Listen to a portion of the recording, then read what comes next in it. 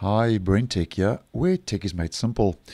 So, just last week, I was posting one or two videos about a bug that was affecting um, the Windows Security app and Microsoft Defender.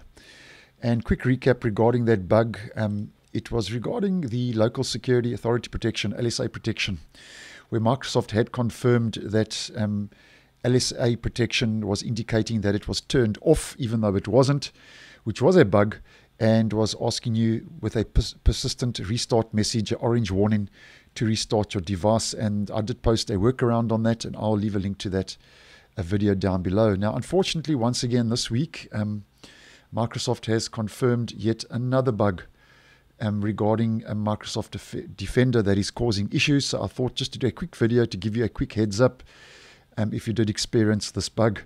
Now, according to Microsoft in a recent tweet over on Twitter, and I'm quoting this, they say that they are investigating an issue where legitimate URL links are being incorrectly marked as, mal- as malicious by the Microsoft Defender service.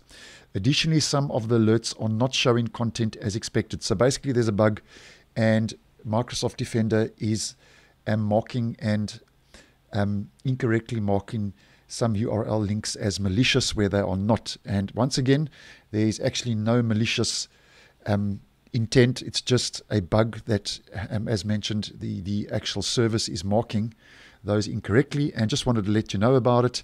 And at this stage, though, um, the bug is mainly affecting corporations and enterprises with system admins where they are getting a lot of emails in regards to um, the incorrectly marked um, URL links being marked as malicious. But nonetheless, um, I do know a lot of you do use uh, the Windows Security app and Microsoft Defender as your default um, security solution, as, as, as I do in uh, both Windows 10 and 11.